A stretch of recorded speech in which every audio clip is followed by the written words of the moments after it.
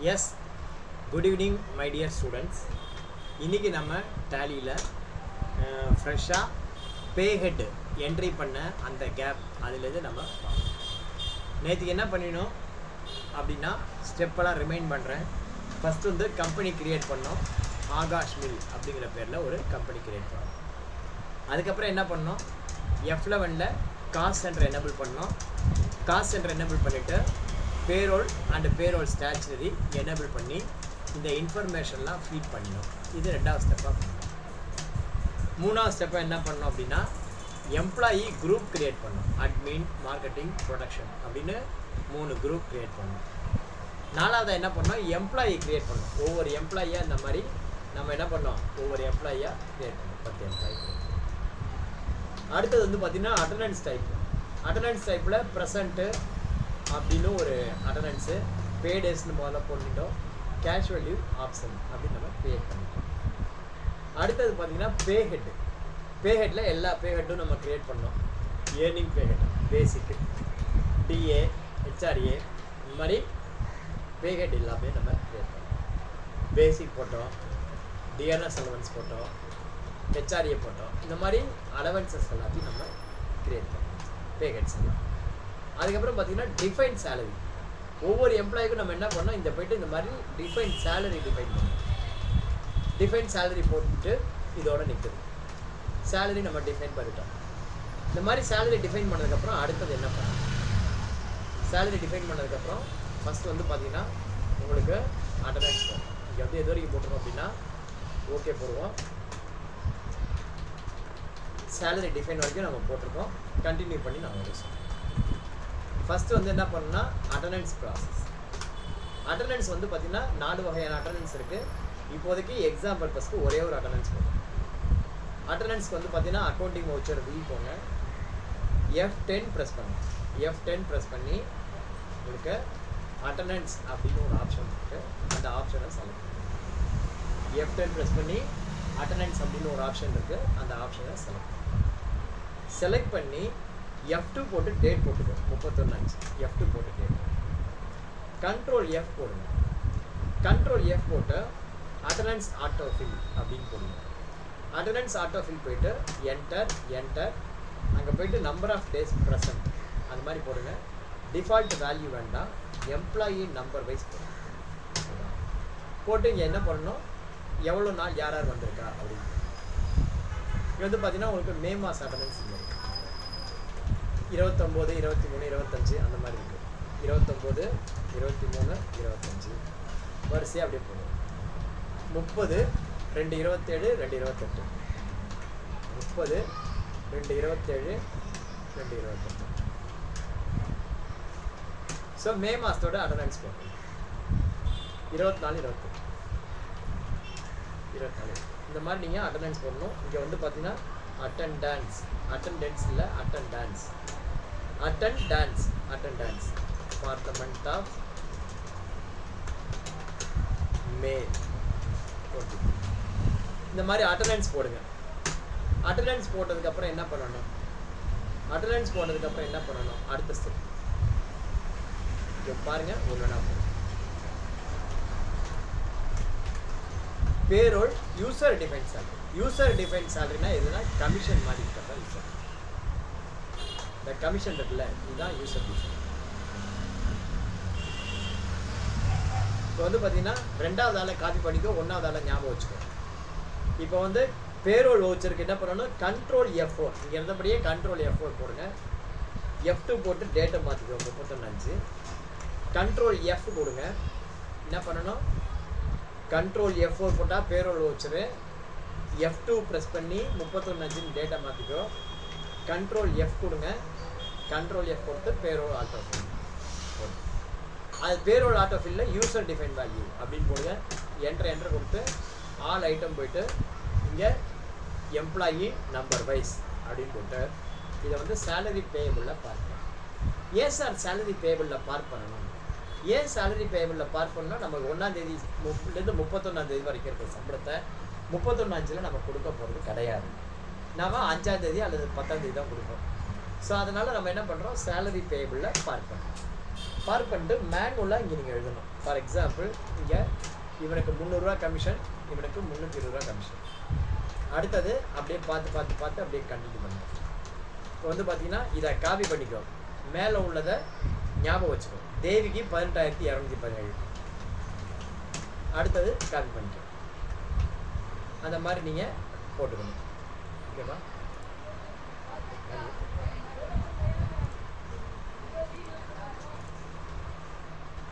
அடுத்தது பாருங்க. கோபிநாத்து பதினேழு அறுநூத்தி எழுபத்தஞ்சு கோபிநாத்துக்கு பதினேழு அறுநூத்தி எழுபத்தஞ்சு ரெண்டாவது ஆளுக்கு காப்பி பண்ணிட்டோம். பத்தொன்பதாயிரத்தி நூற்றி ரெண்டு. ரெண்டாவது ஆளுக்கு காப்பி பண்ணியாச்சு. அந்த மாதிரி போட்டிங்கன்னா உங்களுக்கு ஈஸியாக போட முடியும். பத்தொம்போது இரநூத்தி முப்பத்தொன்று போட்டு கண்ட்ரோல் கைலாஷ் இது வந்து பார்த்தீங்கன்னா user define salary commission user define salary commission அடுத்தது நம்ம என்ன பண்ணணும்? சேலரி பேயபிள் கால்குலேட் பண்ணணும். சேலரி பேயபிள்னா முதல்ல ஒரு எம்ப்ளாய்க்கு நம்ம என்ன பண்ணணும்னா முதல்ல ஒரு எம்ப்ளாய்க்கு நமக்கு மேனுவலாக எவ்வளோ சேலரி அப்படின்னு கால்குலேட் பண்ண தெரியும்? அந்த மாதிரி மேனுவலாக கால்குலேட் பண்ணி அதை வந்து என்ன பண்ணணும்? மேனுவலாக கால்குலேட் பண்ணி அதை நாம் டேலியில் கால்குலேட் பண்ணுறதோட கம்பேர் பண்ணி பார்க்கணும் இப்போ நான் ரெண்டு பேருக்கும் உங்களுக்கு இந்த எக்ஸல் ஷீட்டை வச்சுட்டு நான் மேனுவலாக கம்பேர் பண்ணி பார்க்கணும் யாருக்கு அப்படின்னா ஒன்று மினிமம் ஒன்று மேக்ஸிமம் இப்போ சந்திர மீனாட்சிக்கு மினிமம் சேலரி இருக்கு. அதே வந்து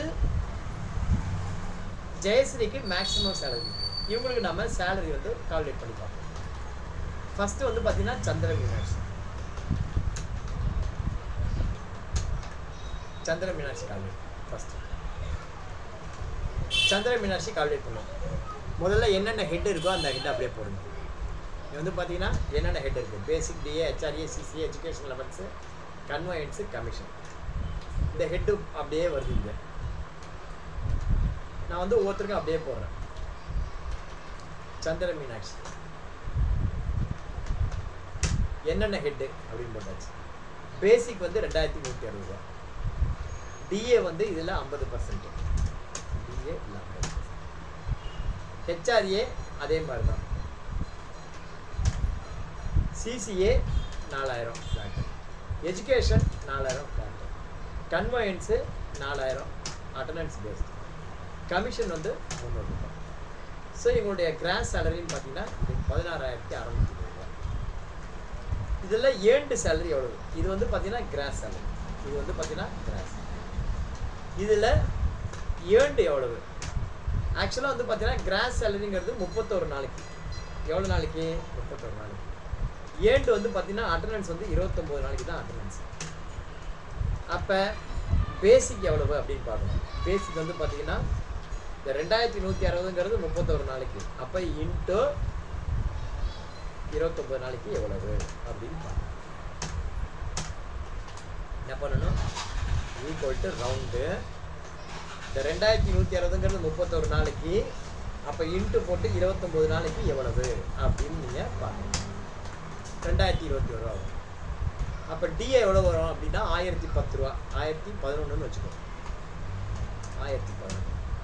ஹெச்ஆர் எவ்வளவு? அதே தான் சிசிஏ ஃப்ளாட்டு அப்படியே வச்சுக்கோ. எஜுகேஷன் லெவன்ஸு ஃப்ளாட்டு அப்படியே வச்சுக்கோ.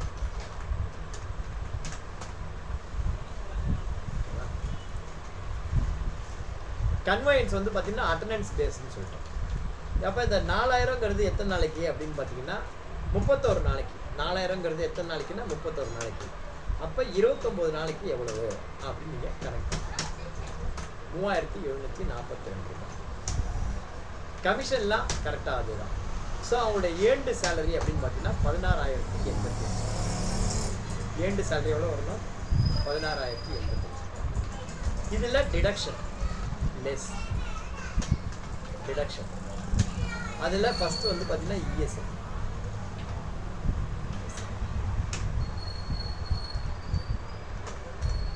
இஎஸ்ஐ வந்து பார்த்தீங்கன்னா எவ்வளோ பர்சன்டேஜ் கிராஸ் சேலரியில் பாயிண்ட் செவன் ஃபைவ் அதாவது இந்த பதினாறாயிரத்தி எண்பத்தஞ்சில் பதினேழு percent equal to round and salary இருக்கு இல்லையா? Into point seven five percentage இது வந்து பார்த்திங்கன்னா கிராஸ் எஸ் இதே பிஎஃப் பார்த்தீங்கன்னு வச்சுக்கோ at the rate of twelve percent எதில்? ஆன் பேசிக் இது வந்து பார்த்தீங்கன்னா ஆன் கிராஸ் இந்த மாதிரி உங்களுக்கு கால்குலேட் பண்ண தெரியணும். மேனுவலாக இது வந்து பார்த்தீங்கன்னா இதே மாதிரி ரவுண்டு போயிட்டு இங்கே இதே ரெண்டாயிரத்தி இருபத்தி ஒரு ரூபாய்க்கு இன்ட்டு பதினெட்டு பர்சன்ட் சாரி பன்னெண்டு பர்சன்ட் பன்னெண்டு பர்சன்ட் எவ்வளவு? அப்படின்னு கால்குலேட் பண்ணணும். ஈக்குவல் டு ரவுண்டு இந்த அமௌண்ட்டு இன்ட்டு பன்னெண்டு பர்சன்ட்டு ஓகே இருபத்தி இது எத்தனை? பாயிண்ட் செவன் ஃபைவ் இது ஸோ டோட்டலாக எவ்வளோ டிடக்ஷன் இந்த அமௌண்ட்டு ப்ளஸ் இந்த ஸோ நெட் சேலரி பேபிள் எவ்வளவு? நெட் சேலரி பேபிள் எவ்வளோன்னு பார்த்தீங்கன்னா இந்த பதினாறாயிரத்தி எண்பத்தி அஞ்சில் இரநூத்தி நாற்பது. பதினஞ்சாயிரத்தி எண்ணூற்றி நாற்பத்தி மூணு ரூபா சந்திர மீனாட்சிக்கு நமக்கு இப்போ இதே மாதிரி தான் இவங்களுக்கு கால்குலேட் பண்ணணும் யார் கால்குலேட் பண்ணணும்? ஒரு ஹையர் அவங்களுக்கு மேனுவலாக கால்குலேட் பண்ணுவோம். அவங்களுக்கு என்ன வருதுன்னு பார்ப்போம். சந்திர மீனாட்சி வேண்டாம். இது வந்து ஜெயஸ்ரீ அப்படின்னு வச்சுக்கோங்க. ஜெயஸ்ரீ. டி ஜெயஸ்ரீ. ஓகேவா அவங்களுக்கும் இதே மாதிரி கால்குலேட் பண்ணுவோம். அவங்களுக்கும் நம்ம இப்போ டி ஜெயஸ்ரீயோடைய பேசிக் சேலரி எவ்வளோ இருக்கும்? டி ஜெயஸ்ரீ இருக்கா அவங்களுக்கு வந்து பார்த்தீங்கன்னா பேசி சார். ஒரு லட்சத்து பன்னெண்டாயிரத்தி ஐநூறு ரூபாய் ஒரு லட்சத்து பன்னெண்டாயிரத்தி ஐநூறு எவ்வளோ பேசிக்கு ஒரு லட்சத்து பன்னெண்டாயிரத்தி ஐநூறுரூபா டிஏ வந்து ஃபிஃப்டி பர்சன்ட்டு அதில் டிஏ வந்து பார்த்தீங்கன்னா எவ்வளவு? எட்டு fifty percent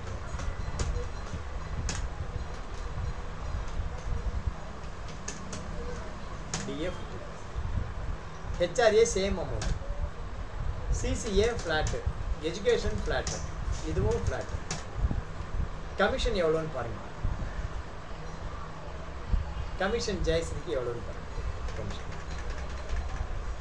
பத்தொன்பதாயிரத்தி நூற்றி ரெண்டு. கமிஷன்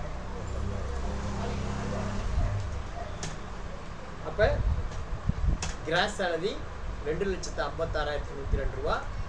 முப்பத்தோரு நாளைக்கு இப்போ ஏண்டு சேலரி ஜெயஸ்ரீ வந்து எவ்வளோ நாள் வேலைக்கு வந்திருக்கான்னு பாருங்க. அந்த மாதம் இருபத்தி எட்டு நாள் வந்திருக்காங்க. அப்போ இவங்களுக்கு இருபத்தி எட்டு நாளைக்கு பார்க்கணும். எவ்வளோ நாளைக்கு பார்க்கணும்? இருபத்தெட்டு நாளைக்கு. எவ்வளோ நாளைக்கு பார்க்கணும்? சேலரி இருபத்தெட்டு நாளைக்கு பார்க்கணும். அப்போ பேசிக் சேலரி எவ்வளவு முதல்ல பேசிக் கால்குலேட் பண்ணுங்க. ரவுண்டு இந்த அமௌண்ட் வந்து முப்பத்தோரு நாளைக்கு.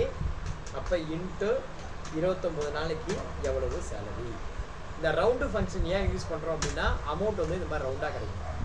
இல்லைன்னு வச்சுக்கோ இப்படி போடுறோம் டிவைடட் பை முப்பத்தொன்று இன்ட்டு இருபத்தெட்டு போட்டிங்கன்னா உங்களுக்கு இப்படி தான் கிடைக்கும் அமௌண்ட் இதை ரவுண்டு வேணால் என்ன பண்ணுன்னா முன்னாடி போயிட்டு இந்த மாதிரி போட்டுட்டு முன்னாடி போயிட்டு ஈக்குவல் டு ரவுண்டு அப்படின்னு ஒரு ப்ராக்கெட் ஓப்பன் பண்ணுங்கள் இங்கே வந்து என்ன பண்ணு?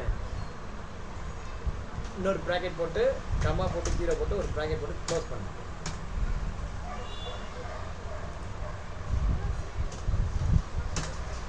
போட்டு இந்த மாதிரி ரவுண்டு போட்டு நீங்கள் க்ளோஸ் பண்ணுங்க. அப்போ ஒரு லட்சத்து ஒன்றாயிரத்தி அறநூத்தி பதிமூணு அப்படின்னு டிஏ வந்து அதில் பாதி.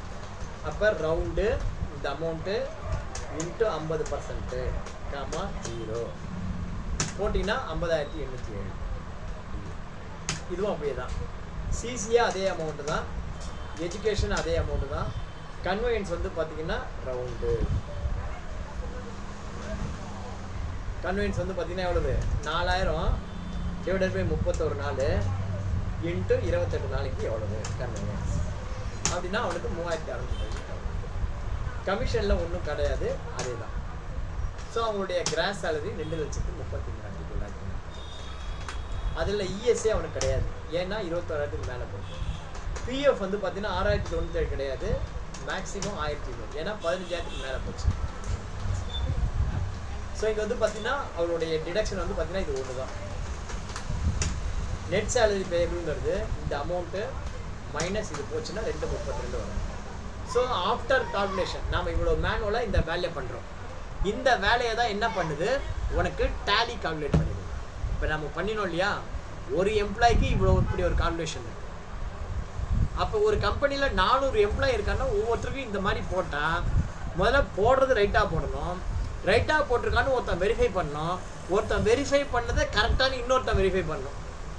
அது எவ்வளோ பெரிய டிடிஎஸ் ஜாப் அதை தான் என்ன பண்ணுது? டேலி பர்ஃபெக்டாக பண்ணுது.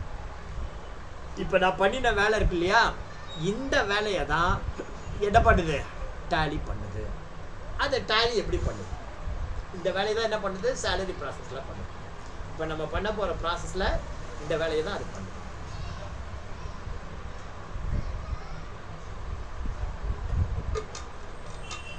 என்ன வேலையை பண்ணுது? இங்கே பாருங்க. அட்டண்டன்ஸ் போட்டாச்சு. யூசர் டிஃபைன் போட்டாச்சு. அட்டண்டன்ஸை பேஸ் பண்ணி சேலரி கால்குலேட் பண்ணணும். எப்படி கால்குலேட் பண்ணுது பாருங்கள் கண்ட்ரோல் எஃப் பண்ணுறோம் பேரோல் ஆட்டோ ஃபில் போகிறோம் சேலரின்னு போடுறோம். Enter enter all item employee number wise salary payable அப்படின்னு போட்டால் போட்ட வேகத்துக்கு நமக்கு கால்குலேட் பண்ணி சொல்லுது. எவ்வளோ சொல்லுது பாருங்கள் பதினஞ்சாயிரத்தி நானூற்றி இருபத்தி ஒரு ரூபாய் இங்கே வந்து நம்ம எவ்வளோ சொன்னோம்? நெட்டு உங்களுக்கு பதினஞ்சாயிரத்தி இருபத்தி ரூபா. பேசிக் வந்து என்ன சொன்னோம்? பன்னெண்டு பர்சன்ட் சொன்னோம். எவ்வளோ பன்னெண்டு பர்சன்ட்டு சாரி இதில் போய் பன்னெண்டு பர்சன்ட் கால்குலேட் பண்ணிட்டேன். தப்பு. இங்கே மிஸ்டேக் பண்ணிட்டோம். ரவுண்டு போயிட்டு ரெண்டாயிரத்தி இருபத்தொன்று இன்ட்டு பன்னெண்டு பர்சன்ட் பதினஞ்சாயிரத்தி எழுநூற்றி இருபத்தொரு ரூபா வரணும் அப்படின்னு நம்ம சொல்லியிருக்கோம். டேலி எவ்வளோ கால்குலேட் பண்ணி சொல்லுது? பதினஞ்சு நானூற்றி இருபத்தொன்று சொல்லுது. ஆனால் இது கரெக்டாக அப்படின்னு பார்த்தீங்கன்னா இங்கே போய் பார்க்கணும். ஏன் அங்கே பதினஞ்சு நானூற்றி இருபத்தொன்று கமிஷன் தனியாக போட்டிருக்கோம்? அப்போ இது கரெக்டானு பார்க்க என்ன பண்ணணும்? டிஸ்பிளேல போங்க. பேரோல் பேஷீட் ஆல் ஐட்டம் இங்கே போய் பார்க்கணும். இங்கே பார்த்தா தான் உனக்கு தெரியும். சந்திர மீனாட்சியோடைய கிராஸ் சேலரி பதினாறாயிரத்தி எண்பத்தஞ்சு. இங்கே நம்ம கால்குலேட் பண்ணியிருக்கிறது பதினாறாயிரத்தி எண்பத்தஞ்சு. டிடக்ஷன் முந்நூற்றி அறுபத்தி நாலு. டிடக்ஷன் முந்நூற்றி அறுபத்தி நாலு.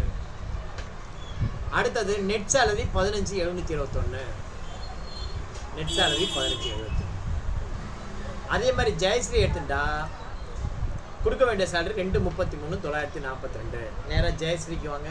டி ஜெயஸ்ரீ. எவ்வளோ இருக்குது ரெண்டு முப்பத்தி மூணு தொள்ளாயிரத்தி நாற்பத்தி ரெண்டு. இங்கே எவ்வளோ இருக்கு? ரெண்டு முப்பத்தி மூணு தொள்ளாயிரத்தி நாற்பத்தி ரெண்டு.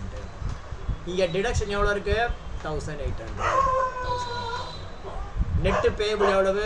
ரெண்டு முப்பத்தி ரெண்டு நூற்றி நாற்பத்தி ரெண்டு ரெண்டு முப்பத்தி ரெண்டு நூற்றி நாற்பத்தி ரெண்டு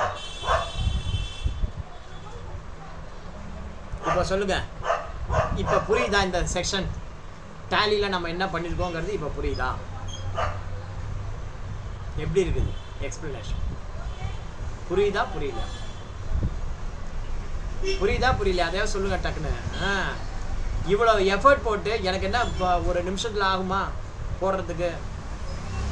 இவ்வளோ எஃபர்ட் போட்டு உனக்கு எப்படி வருதுன்னு நான் எக்ஸ்பிளைன் பண்ணுறேன் சார் புரியுது சார். ரொம்ப சந்தோஷம் சார். அப்படின்னு ஒரு லைன் உங்களுக்கு சொல்ல முடியாது ஒரு மணி நேரம் அந்த நாய் மாதிரி நானும் உங்களுக்கு குறைச்சி தான் சொல்லுவேன். வெளில ஒன்று கட்டினே அந்த மாதிரி இந்த நாயை கரெக்டாக போகவே மாட்டேங்குது கல்லட்டாச்சா என்னையே பார்த்து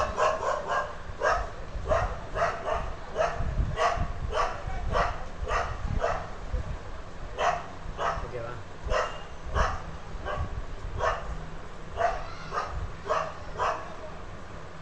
கிளாஸ் எடுத்துக்கலாம் நானும் உயிரை கொடுத்து கத்துறேன் சார் ரொம்ப சந்தோஷமா இருக்கு சார். ஒரு அது புரிஞ்சிருச்சு சார் இந்த எக்ஸ்பிளனேஷன் எப்படி வந்தது தெரிஞ்சிருச்சு சார். அப்படின்னு ஒரு சொன்னீங்கன்னு வச்சுக்கேன் அது வந்து எனக்கு வந்து ஒரு சந்தோஷம். அப்போ இன்னும் எப்படி நம்ம எக்ஸ்பிளைன் பண்ணுறது அப்படின்னு இன்னும் கொஞ்சம் அதை விட்டுட்டு நீங்க அப்படியே அமைதியா இருந்தீங்கன்னா எனக்கு ஒண்ணுமே பண்ணுங்க ரைட்டா நல்லா இருக்கா இந்த எக்ஸ்பிளனேஷன்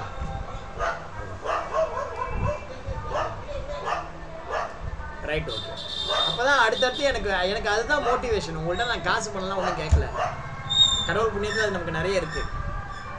எனக்கு தேவை மோட்டிவேஷன் உங்கள்ட்ட வேணும். அவ்வளவுதான். மோட்டிவேஷனா இந்த மாதிரி. ரைட் ஓகே இப்போ நம்ம என்ன பண்ணிட்டோம்? யாருக்கு எவ்வளோ சேலரி கொடுக்கறது அப்படிங்கிறத கால்குலேட் பண்ணியாச்சு. அடுத்த ஸ்டெப் என்னன்னா முதலாளி கொடுக்க வேண்டிய கான்ட்ரிபியூஷன் அதெல்லாம் கணக்கு பண்ணணும். முதலாளி வந்து பார்த்தீங்கன்னா ESI contribution PF contribution PF admin expense contribution இதை வந்து கால்குலேட் இங்கே வந்து பார்த்தீங்கன்னா அடுத்தது என்ன பண்ணணும்? முதலாளி கொடுக்க வேண்டியது. இந்த ஸ்டெப்பில் வந்து பார்த்தீங்கன்னா தொழிலாளிக்கு கம்பெனிலேருந்து கொடுக்க வேண்டியது. அதை கால்குலேட் பண்ணியாச்சு. இப்போ தொழிலாளிக்கு முதலாளி கொடுக்க வேண்டிய கான்ட்ரிபியூஷன் அதை எப்படி கால்குலேட் பண்ணுறது அதே accounting voucher V control F போட்டு பேரோல் ஆட்டோஃபில் அதில் இஎஸ்ஐக்காக கொடுக்க வேண்டியதை இஎஸ்ஐ கான்ட்ரிபியூஷனில் போய் செலக்ட் பண்ணி பீரியடு செலக்ட் பண்ணி எம்ப்ளாயி நம்பர் வைஸ் போயிட்டு இஎஸ்ஐ பேயபிள் அப்படின்னு ரெண்டு பேருக்கு தான் இஎஸ்ஐ வரும். ஏன்னா ரெண்டு பேருக்கு தான் இருபத்தொழாயிரத்துக்கு மேலே சேலரி ஸோ இது வந்து பார்த்து இந்த மாதிரி இஎஸ்ஐ கான்ட்ரிபியூஷன் இஎஸ்ஐ கான்ட்ரிபியூஷன் எப்படி? Accounting voucher V control F போட்டு payroll auto fill ESI contribution enter enter all item employee number wise ESI payable இஎஸ்ஐயை ESI பேபிள்லையும் பிஎஃப் பிஎஃப் பேபிள்லையும் பார்ப்போம் நீ வேறு எதுவும் பண்ணக்கூடாது என்டர் என்டர் கொடுத்து சேவ் பண்ணு. அடுத்தது பார்த்தீங்கன்னா பிஎஃப் கண்ட்ரோல் எஃப் போட்டு பேரோல் ஆட்டோ ஃபில்லு ஆட்டோ ஃபில்லில் எம்ப்ளாயர் முதலாளி கொடுக்க வேண்டிய பிஎஃப் கான்ட்ரிபியூஷன் என்டர் என்டர் கொடுத்து எம்ப்ளாயி நம்பர் வைஸு இதை வந்து எங்கே பார்க் பண்ணணும்? பிஎஃப் பேபிளில் பார்க் பண்ணணும். இந்த பிஎஃப் பேபிள் என்ன தெரியும்? முதலாளி அக்கௌண்ட் நம்பர் ஒன்றுக்கு எவ்வளோ கொடுக்கணும்? அக்கௌண்ட் நம்பர் டென்னுக்கு எவ்வளோ கொடுக்கணும்? எம்ப்ளாயி வைஸ் அப்படிங்கிறது இங்கே ரெக்கார்ட் ஆகும். இதை எப்படி போடணும்?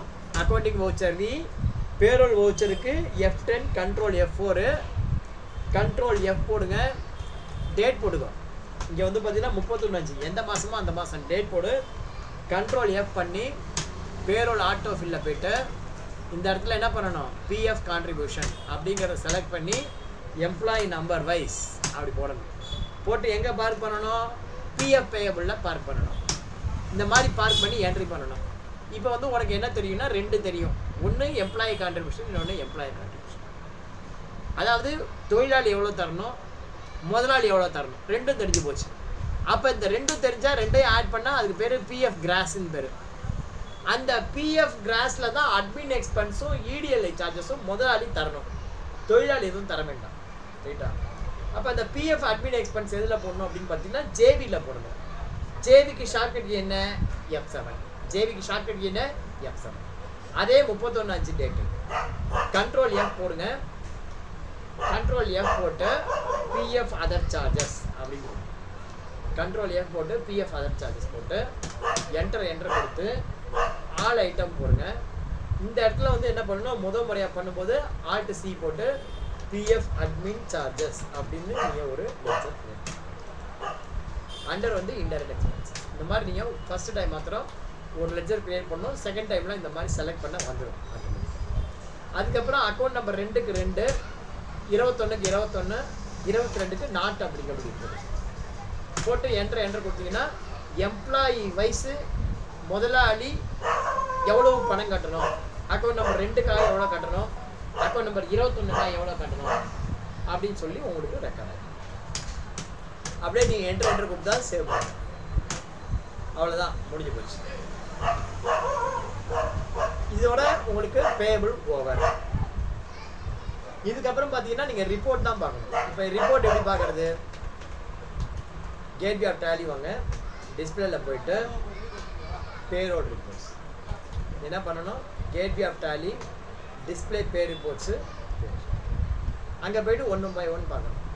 இப்போ வந்து பார்த்தீங்கன்னா பே ஸ்லிப் பே ஸ்லிப் வந்து பார்த்தீங்கன்னா பார்க்கணுன்னா இங்கே போயிட்டு சந்திர மீனாட்சி அப்படின்னு பார்த்தீங்கன்னா சந்திர மீனாட்சி எல்லாருடைய பே ஸ்லிப்பும் பார்க்கணும் அப்படின்னா என்ன பண்ணணும்? இங்கேருந்து ஆல்ட்டு ஜி போங்க. ஆல்ட்டு ஜி ஆல்ட்டு ஜி போயிட்டு மல்டி பே ஸ்லிப் அப்படின்னு போட்டால் போதும். மல்டி பே ஸ்லிப் அப்படின்னு போட்டு பார்க்கணும். எல்லாத்தையும் வரலாம் ஒரே நேரத்தில். ஒரே நேரத்தில் எல்லாருடைய பே ஸ்லிப் தான்.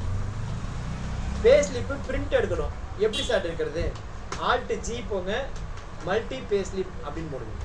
என்ன பண்ணணும்? பேஸ்லிப் பிரிண்ட் எடுக்கணும்னா மல்டி பேஸ்லிப் ஆல் ஐட்டம் பண்ணணும் இங்கே ஆல்ட்டு பி கண்ட்ரோல் பி என்ன பண்ணணும்? ஆல்ட்டு பி போட்டு கரண்ட்டில் போயிட்டு கண்ட்ரோல் பி அங்கே போயிட்டு ப்ரீவியூ பார்க்க ஐ போடுங்க. போட்டிங்கன்னா உங்களுக்கு இந்த மாதிரி உனக்கு பேஸ்லிப்பு எல்லாருடைய பேஸ்லிப் பத்து பேஸ்லிப்பு இப்படியே வரும். அப்படியே நீங்கள் பிரிண்ட் எடுத்துக்கலாம். சார் இந்த மாதிரி மேலே கீழே எனக்கு ஒன்று ஒன்னொன்றுக்கும் ஒவ்வொரு பேஜில் ரெண்டு எடுக்கலாம் சார். ஆனால் சின்னதாக இருக்குது வேஸ்ட்டாக போகும் சார். என்ன பண்ணுறது இதை வந்து நீ என்ன பண்ணணும்? முதல்ல பிடிஎஃபாக சேவ் பண்ணிக்கணும். ஆல்ட்டு பி போட்டு இதை வந்து என்ன பண்ணலாம்? பிடிஎஃபாக நீங்கள் சேவ் பண்ணிக்கலாம். ஃபார் எக்ஸாம்பிள் டெஸ்க்டாப்பில் போயிட்டு சேலரி ஸ்லிப்பு அப்படின்னு நான் என்ன பண்ணுறேன் பிடிஎஃபாக நான் சேவ் பண்ணுறேன் இப்போ சேலரி ஸ்லிப் ரெடி ஆகிடுச்சு இப்போ இந்த சேலரி ஸ்லிப் ரெடியாக இருக்குல்ல பிடிஎஃப் ஆகிடுச்சுன்னா பிடிஎஃப் வந்து நீங்கள் என்ன பண்ணலாம்? பிரிண்ட் அவுட் எடுத்துக்கலாம். எப்படி எடுக்கலாம் சொல்கிற மாதிரி. இந்த சேலரி ஸ்லிப் இருக்கு இல்லையா? இதை போய் நீங்கள் பிரிண்ட் எடுக்கும்போது இது வந்து பார்த்தீங்கன்னா மேலே கீழே இப்படி இருக்குல்ல? ஒரு நேரத்துக்கு ரெண்டு பேஜ் அப்படின்னு நீ எடுத்துக்கலாம். இப்போ வந்து பார்த்தீங்கன்னா இதில் போயிட்டு கண்ட்ரோல் பி கொடுங்க.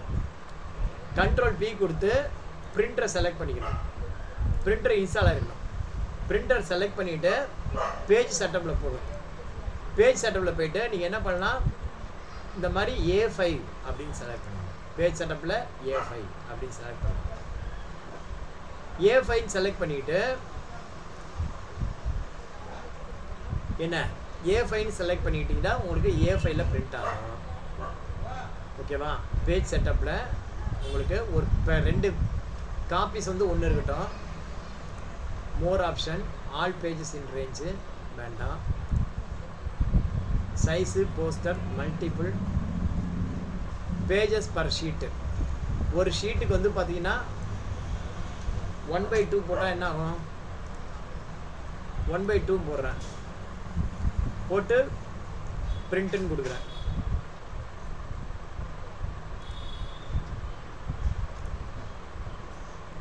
ஒன் பை டூ கொடுத்து அதாவது ஒரு பேஜுக்கு ரெண்டு கொடுக்குறேன். கொடுத்து இப்போ நம்ம பிரிண்ட் கொடுக்குறேன். டெஸ்க்டாப்பில்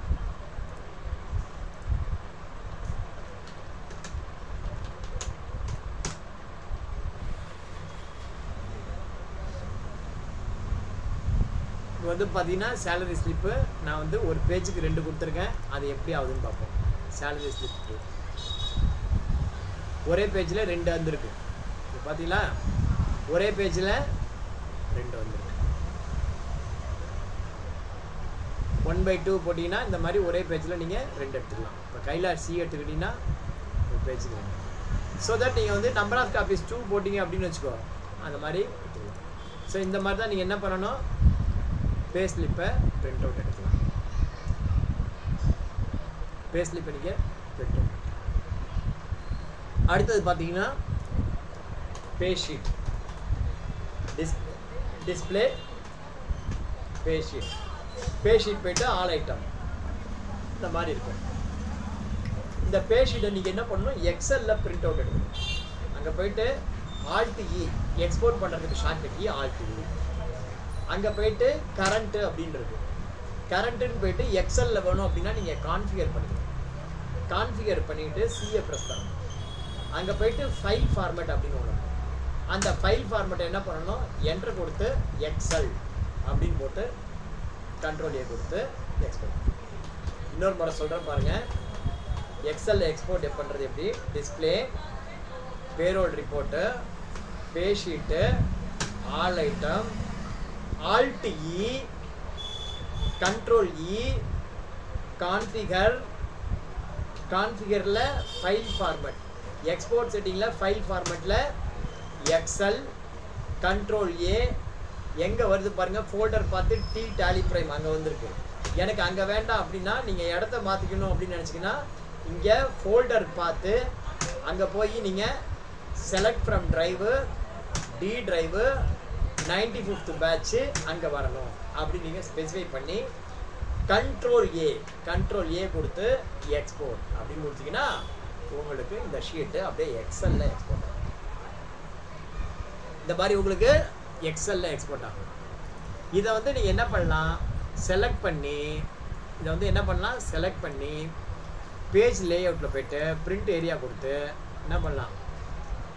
இதை நீங்கள் பிரிண்ட்டு ப்ரீவியூ பார்க்கலாம். பிரிண்ட் ப்ரீவியூ பார்த்து உங்களுக்கு அரிசாண்டல் பேஜ் செட்டப்பில் லேண்ட்ஸ்கேப் அப்படின்னு மாற்றிக்கலாம் மாற்றிட்டு ஒரே பேஜில் வர மாதிரி நீங்கள் பிரிண்ட் எடுத்துக்கலாம். இதில் பேஜ் செட்டப்பில் போயிட்டு ஒரே பேஜில் வரணும் அப்படின்னு வச்சுக்கோ. நீ ஏ ஃபோரில் மாற்றிக்கோ ஒரே பேஜில் வரணும் அப்படின்னா ஃபிட் டு ஒன் பேஜ் அப்படின்னு நீங்கள் கொடுத்துக்கலாம் பிரிண்டில் வந்து.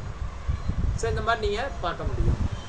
இதில் ஏதாவது நீங்கள் அட்ஜஸ்ட் பண்ணி சின்னது பெருசு வேணும் ஒரே பேஜில் வேணும் அப்படின்னா நீங்கள் அட்ஜஸ்ட் பண்ணி நீங்கள் எடுத்துக்கலாம். ரைட்டா ஸோ இப்போ ஒரு பேஜுக்குள்ளே வரணும் அப்படின்னா நீங்கள் இன்னும் சின்னது பண்ணிக்கலாம். இது வந்து நீங்கள் சின்னது பண்ணலாம் இப்போ போய் பார்ப்போம். ஒரே பேஜில் வந்திருக்கும். ஒரே பேஜில் வந்துச்சு. ஸோ இந்த மாதிரி ஒரே பேஜில் வந்துடும் அதை நீங்கள் என்ன பண்ணலாம்? பிரிண்ட் அவுட் எடுக்கலாம். ஒரே பேஜில் வந்ததை பிரிண்ட் அவுட் எடுத்து நீங்கள் என்ன பண்ணலாம்? முதலாளிகிட்ட கையெழுத்து வாங்கிக்கலாம். கையெழுத்து வாங்கிட்டு பே ஸ்லிப்லேயும் அதுலேயும் பாஸ் பண்ணிக்கணும். மேனேஜரோ முதலாளியோ யார் ஆதரைசன் பர்சனோ அவங்ககிட்ட போய் நீங்கள் என்ன பண்ணணும்? பாஸ் பண்ணிக்கணும் அதுக்கப்புறமா பேமெண்ட் எடுக்கணும் இது வரைக்கும் புரியுதா? இந்த ஒர்க்கை முதல்ல நீங்கள் முடிச்சுக்கணும் இதை முடிச்சுக்கிட்டு அடுத்தது பேமெண்ட் என்ட்ரி பேமெண்ட் என்ட்ரி எப்படி பார்க்குறது?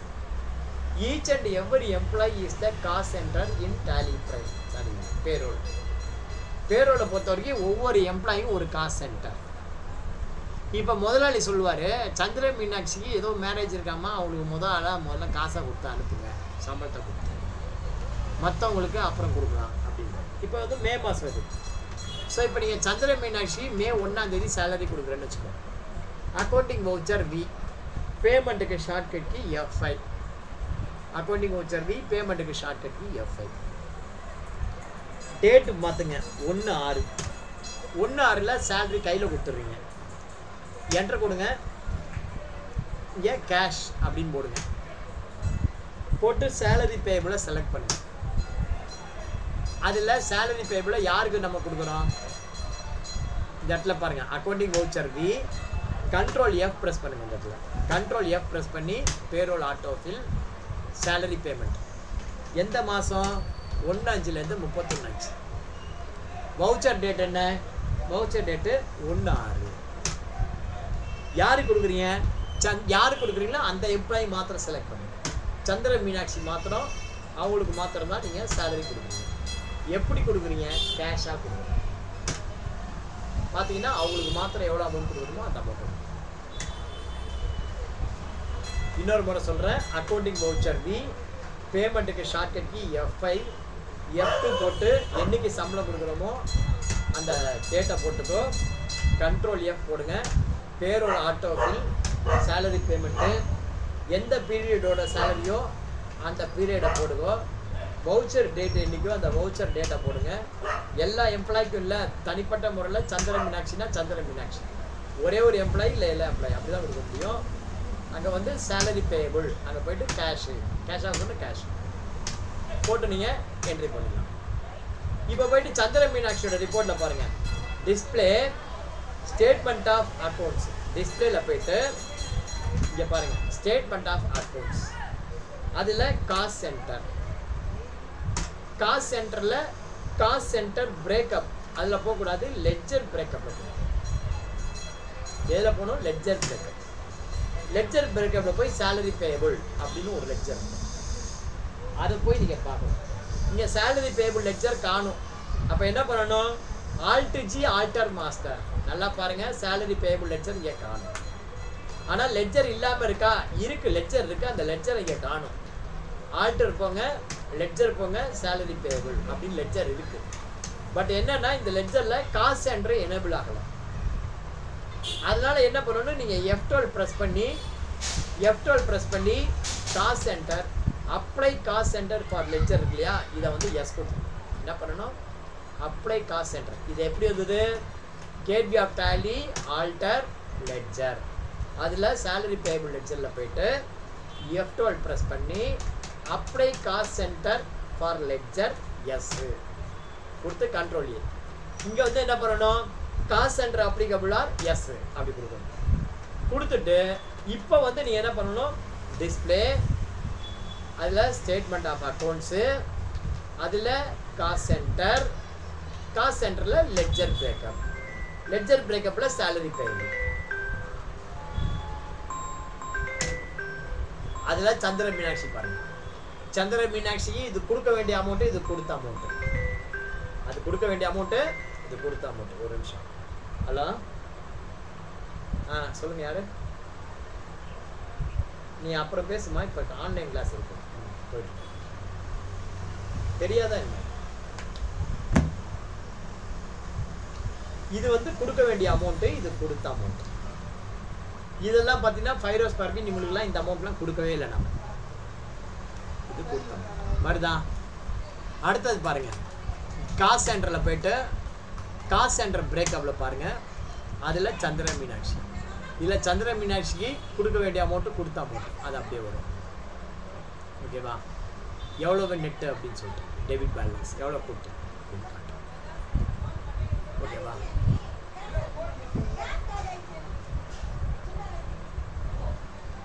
இப்போ பார்த்தீங்கன்னா உங்களுக்கு காஸ்ட் சென்டர் சம்மரி அதில் போய் பாருங்கள் அதில் அட்மினுக்கு எவ்வளோ மார்க்கெட்டிங் எவ்வளோ ப்ரொடக்ஷன் எவ்வளோ எவ்வளோ டெபிட் எவ்வளோ கிரெடிட் அப்படின்னு தெரியும். பட் இதிலலாம் அந்தளவுக்கு எஃபெக்டாக உனக்கு ரிப்போர்ட் தெரியாது. உங்களுக்கு வந்து பார்த்தீங்கன்னா இந்த லெட்ஜர் பிரேக்கப்பில் தான் கண்டுபிடிக்க முடியும். யாருக்கு எவ்வளோ சேலரி தரும் அதில் போனீங்கன்னா இதில் பார்த்தீங்கன்னா இது வந்து பார்த்தீங்கன்னா ஒரு எம்ப்ளாய்க்கு பெண்டிங் இருக்கா இல்லையா? இங்கே வந்து கிரெடிட் பேலன்ஸ் காமிச்சா பெண்டிங் இருக்குன்னு அர்த்தம்.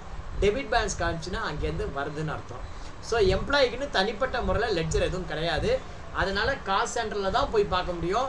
இந்த ரிப்போர்ட் எப்படி பார்க்கணும் அப்படின்னா display more report statement of accounts அதில் காசு சென்டர் காஸ் சென்டரில் லெட்ஜர் பிரேக்கப்பு லெட்ஜர் பிரேக்கப்பில் சேலரி பேயபிள் இதில் போய் தான் நீங்கள் பார்க்கலாம். சப்போஸ் உங்களுக்கு இந்த இடத்துல லெட்ஜர் பேயபிள் வரல லெட்ஜர் பிரேக்கப்பில் இந்த சேலரி பேயபிள் வரல அப்படின்னா என்ன பண்ணணும்? கேட்வே ஆஃப் டேலி போங்க. கேட்வே ஆஃப் டேலியில் ஆல்டர் போங்க. ஆல்டரில் லெட்ஜர் போங்க. சேலரி பேயபிள் லெட்ஜர் போங்க. எஃப்டோல் ப்ரெஸ் பண்ணி இந்த இடத்துல அப்ளை காஸ்ட் சென்டர் எஸ் அப்படின்னு கொடுக்கணும். என்ன பண்ணோம் அப்ளை காஸ்ட் சென்டர் எஸ் கொடுத்து காஸ்ட் சென்டர் சார் அப்ளிகபிள் இங்கேயும் போய்ட்டு எஸ் கொடுத்துட்டு அதுக்கப்புறமா நீங்கள் திரும்ப வந்து display statement of accounts cost center ledger breakup salary payable அதில் போய் பார்த்தீங்கன்னா உங்களுக்கு தெரியும். ஸோ இதுலேருந்து என்ன தெரியுது? சந்திர மீனாட்சி சேலரி கொடுத்தாச்சு. மற்றவங்களுக்குலாம் சேலரி கொடுக்க வேண்டும் அப்படின்னு இப்போ ஓனர் சொல்கிறாரு எல்லாருக்கும் நம்ம சேலரி கொடுத்துடலாம்ப்பா அப்படிங்கிறாரு அப்போ அக்கௌண்டிங் வவுச்சர் வி போங்க. ரெண்டாம் தேதி கண்ட்ரோல் எஃப் கொடுங்க. பேரோல் ஆட்டோ ஃபில்லு அதில் சேலரினா சேலரி பேமெண்ட்டு எந்த மாதம் சம்பளம் கொடுக்க போகிறீங்களோ அந்த மாதம் சம்பளம். முப்பத்தொன்று அஞ்சு. இதில் ஆல் ஐட்டம் போடுங்க. சந்திர மீனாட்சி வராது. ஏன்னா ஆல்ரெடி கொடுத்தாச்சு. சேலரி பேபிள் செலக்ட் பண்ணுங்கள் லெட்ஜர் வந்து பார்த்தீங்கன்னா பேங்க்குன்னு வச்சுக்கோ. ஒரு பேங்க் லெட்ஜர் ஒன்று போட்டுக்கோ. பஞ்சாப் நேஷனல் பேங்க்கு அண்டர் வந்து பேங்க் அக்கௌண்ட்டு அக்கௌண்ட் நம்பர் போட்டுக்கோ. Two five one double zero double zero four double zero one five seven eight three zero IFSC code பார்த்தீங்கன்னா PNB zero two five four three hundred bank name பார்த்தீங்கன்னா Punjab National Bank India branch பார்த்தீங்கன்னா Nungambakkam Nungambakkam BSR கோடெல்லாம் வேண்டாம். Cheque number போட்டுக்கோ. One twenty hundred hundred and one one twenty two hundred book number one அப்படின்னு போட்டுக்கோ. போட்டுக்கோ. Enter enter கொடு இப்போ நீங்கள் என்ன பண்ணுங்கள் பே பஞ்சாப் நேஷனல் பேங்க்லேருந்து செக்காக பேமெண்ட் பண்ணுற மாதிரி போங்க. அதில் சந்திர மீனாட்சி கொடுக்க வேண்டிய அமௌண்ட் கொடுத்தாச்சு. அதனால் காட்டல. இப்போ போய் என்ட்ரு என்ட்ரு கொடுங்க. செக் நம்பர் ஆட்டோமேட்டிக்காக வரும். என்ட்ரு கொடுங்க. இப்போ போயிட்டு போய் பாருங்கள் display statement of accounts cost center அதில் லெட்ஜர் பிரேக்கப்பு லெட்ஜர் பிரேக்கப்பில் சேலரி பேபிளில் யாருக்காவது க்ளோசிங் பேலன்ஸ் இருக்கா பாருங்கள் யாருக்கும் பேலன்ஸ் அடுத்தது என்ன பெண்டிங் இருக்குது இன்னும் இஎஸ்ஐ பேமெண்ட் பண்ணணும். பிஎஃப் பேமெண்ட் பண்ணணும். இஎஸ்ஐயும் பிஎஃப்பும் பேமெண்ட் பண்ணால் உங்களுக்கு முடிஞ்சு போச்சு. எக்ஸாம் அவ்வளோதான் இஎஸ்ஐ பேமெண்ட் என்ன பண்ணணும்? Accounting voucher V F two போட்டு ரெண்டாம் தேதி. இஎஸ்ஐக்கு again control F payroll auto fill இஎஸ்ஐக்கு ESI challan அப்படின்னு போடுங்க. இஎஸ்ஐக்கு என்ன பண்ணணும்? இஎஸ்ஐ சலான் டேட் போடுங்க. எந்த பீரியடு அந்த பீரியடை போடுங்க. வவுச்சர் டேட்டு ரெண்டாம் தேதி all item ESI payable ESI payable போட்டு பேங்கை செலக்ட் பண்ணுங்கள் என்ட்ரு கொடுத்தீங்கன்னா அவ்வளோதான் நிற்கும் போட்டு என்ட்ரு கொடுங்க. என்ட்ரு கொடுத்துட்டு பேஜை போயிட்டு நீங்கள் பிரிண்ட்டு ப்ரீவியூ பார்க்கலாம். பார்த்தீங்கன்னா உங்களுக்கு இந்த மாதிரி இஎஸ்ஐ வரும். இந்த இஎஸ்ஐ எப்படி வரணும்? டிஸ்பிளே டே புக்கில் போயிட்டு alt P control P alt P control P control P கொடுங்க. ப்ரிவியூ பார்த்தீங்கன்னா உங்களுக்கு இஎஸ்ஐ சலான் வரும். இந்த இஎஸ்ஐ சலானில் என்ன அமௌண்ட் காட்டுதோ அந்த அமௌண்ட்டை நீங்கள் செக்கு போட்டு பேங்கில் கொடுத்து கட்டிக்கணும் அடுத்தது இதே மாதிரி தான் PF account accounting voucher V control F payroll auto fill போயிட்டு பிஎஃப் சலான் அப்படின்னு போடுங்க. போட்டு ஒன்று அஞ்சுலேருந்து முப்பத்தொன்று அஞ்சு வவுச்சர் டேட்டு ரெண்டு ஆறு போட்டு ஆல் ஐட்டம் போடுங்க. பேரோல் வவுச்சரில் பிஎஃப் பேபிள் போடுங்க. பேங்க் லெக்சரில் பேங்க் லெக்சர் செலக்ட் பண்ணுங்க போட்டு என்ட்ரு என்ட்ரு மூணு வாட்டி கொடுத்தீங்கன்னா அவ்வளோதான் எண்ட் ஆஃப் லிஸ்ட்டு கொடுத்து என்ட்ரு என்ட்ரு கொடுத்து இங்கே வந்து பார்த்தீங்கன்னா இங்கே வந்து யுவர் செல்ஃப் அப்படின்னு போடணும் யுவர் செல்ஃப் அது ஒரு கரெக்ஷன் மாத்திரம் பண்ணிங்க. பண்ணிவிட்டு என்ட்ரு என்ட்ரு கொடுங்க. என்ட்ரு என்ட்ரு கொடுத்துட்டு இப்போ போய் கண்ட்ரோல் P கொடுங்க ப்ரிவியூ பாருங்க. பார்த்தீங்கன்னா உங்களுக்கு இந்த மாதிரி வரும். பிஎஃப் சலான் வரும். அவ்வளோதான் இந்த பிஎஃப் சலான் எடுத்துகிட்டு போனீங்கன்னா அக்கௌண்ட் நம்பர் ஒன்றுக்கு எவ்வளவு அக்கௌண்ட் நம்பர் ரெண்டுக்கு எவ்வளவு மூணுக்கு எவ்வளவு அஞ்சுக்கு எவ்வளவு எல்லாம் ஆட்டோமேட்டிக்காக வந்துடும் அது பாட்டுக்கு. கொண்டு போய் நீங்கள் செக் நம்பரை போட்டு நீங்கள் கட்டிட்டு வர வேண்டியதான் இல்லை கான்ஃபிகர் போனீங்கன்னாக்கா உங்களுக்கு சில விஷயங்கள் கேட்கும் அதை நீங்கள் ஃபில் பண்ணிக்கலாம். அது நம்ம பார்த்துக்கலாம் நேராக பார்த்துக்கலாம். இங்கே வந்து பார்த்தீங்கன்னா இங்கே நீங்கள் கொடுக்கணும். இங்கே வந்து பிஎஃப் சேனலில் டோட்டல் நம்பர் ஆஃப் சப்ஸ்கிரைபர் பத்து. அதில் அக்கௌண்ட் நம்பர் டென்னுக்கு எவ்வளவு? பத்து. அக்கௌண்ட் நம்பர் டுவெண்ட்டி ஒனுக்கு எவ்வளவு? பத்து. அப்படின்னு போட்டு இப்போ போய் ப்ரீவியூ பார்த்தீங்க அப்படின்னா உங்களுக்கு ப்ரீவியூவில் இந்த இன்ஃபர்மேஷன் வந்துடும் இங்கே வந்து பார்த்தீங்கன்னா அந்த இன்ஃபர்மேஷன்லாம் இங்கே வந்துடும் அக்கௌண்ட் நம்பர் ஒன்று எவ்வளவு? டென் எவ்வளவு? டுவெண்ட்டி ஒன் எவ்வளவு? இந்த இன்ஃபர்மேஷன் இங்கே வந்துடும் உங்களுக்கு இன்னும் எது பிரிண்ட் ஆகலை? செக் நம்பரும் டேட்டும் பிரிண்ட் ஆகலை. அதுக்கு என்ன பண்ணணும்? எகைன் போய் கான்ஃபிகரேஷன் போங்க. கான்ஃபிகரேஷனில் செக் நம்பர் அப்படின்னு இருக்கா பாருங்க.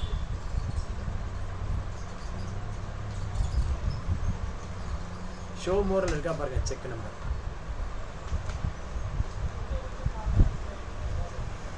செக் நம்பர் இல்லை. செக் நம்பர் இல்லை.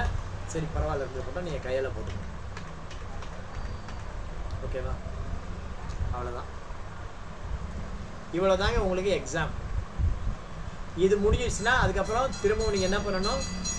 மே மாதம் போட்ட மாதிரி ஜூன் மாதம் ஜூலை மாதம் அப்படியே வரிசையாக போட வேண்டியதான் ஜூன் மாதம் போட முடியாது எஜுகேஷன் வேஷனில் ஜூலை ஆகஸ்ட். ஓகேவா பட் நான் என்ன சொல்கிறேன் இன்னொரு ஷார்ட்கட் உங்களுக்கு சொல்கிறேன் என்னென்னா ஒரு வாரத்துக்கு நீங்கள் டேலியை ஒரிஜினலாக யூஸ் பண்ண முடியும். ஒரு வாரத்துக்கு. எப்படின்னா இங்கே போயிட்டு நீங்கள் டேலியில் போயிட்டு டேலி ஃப்ரீ ட்ரையல் அப்படின்னு போடுங்க. டேலியில் போயிட்டு ஃப்ரீ டவுன்லோட் அப்படின்னு போடுங்க. இது வந்து உங்களுக்கு கிடைக்கும். இதை போயிட்டு இங்கே போயிட்டு நீங்கள் என்ன பண்ணுங்க கொடுங்க. இங்கே போயிட்டு அதில் போயிட்டு ஒரு வாரத்துக்கு உங்களுக்கு ஒரிஜினல் கிடைக்கும். நீங்கள் ஒரிஜினலாகவே ஒரு வாரத்துக்கு எக்ஸாம் பர்பஸ்க்கு நீங்கள் யூஸ் பண்ணி பார்க்கலாம் பேர் ஒன்றா அங்கே போயிட்டு நீங்கள் யார்? ஐ எம் த அக்கௌண்டன்ட் அல்லது ஸ்டூடெண்ட் ஸ்டூடெண்ட்னு போடுங்க உங்கள் பேரை போடுங்க ஃபோன் நம்பர் போடுங்க மெயில் ஐடி போடுங்க பின்கோடை போடுங்க. போட்டுட்டு சப்மிட் கொடுங்க. சப்மிட் கொடுத்தீங்க அப்படின்னா உங்களுக்கு ஒரு வாரத்துக்கான டேலி லைசன்ஸ் கீ உங்கள் மெயில் ஐடிக்கு வரும். அந்த மெயில் ஐடி கீழே வந்து யூசர் ஐடி பாஸ்வேர்டை போட்டு நீங்கள் டேலி கீயை ஆக்டிவேட் பண்ணணும். ஆக்டிவேட் லைசன்ஸ் அப்படின்னு சொல்லி கேட்போம். அதில் யூசர் ஐடி பாஸ்வேர்ட் போட்டு ஆக்டிவேட் பண்ணிக்கணும். சீரியல் நம்பர் மெயில் ஐடி போட்டு ஆக்டிவேட் பண்ணுங்கள் அதுக்கப்புறம் ஒரு அன்லாக் கீ வரும். அந்த அன்லாக் கீயை போட்டிங்கன்னா உங்களுக்கு ஒரு மா ஒரு வாரத்துக்கு டேலி ஃப்ரீயாக கிடைக்கும்.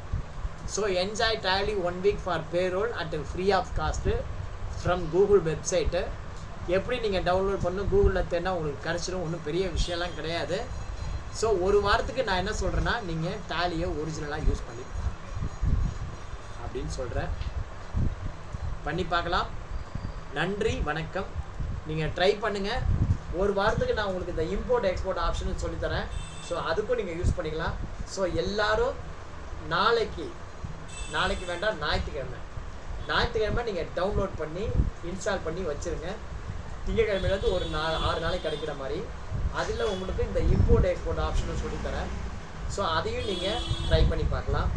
இம்போர்ட் எக்ஸ்போர்ட் கற்றுக்கலாம் பிரிண்ட்டு ப்ரீவியூ பார்த்துக்கலாம் பேரோல் வந்து ஃபுல் வெர்ஷன் கற்றுக்கலாம் இது வந்து ஃபார் செவன் டேஸ் அதுக்கப்புறமா உனக்கு வேணும்னா நீ ரெண்டல் எடுத்துக்கலாம். அது எப்படிங்கிறது அப்புறம் சொல்கிறேன் ஒரு ஒரு மாதத்துக்கு நீங்கள் ரெண்டல் யூஸ் பண்ணிக்கலாம்.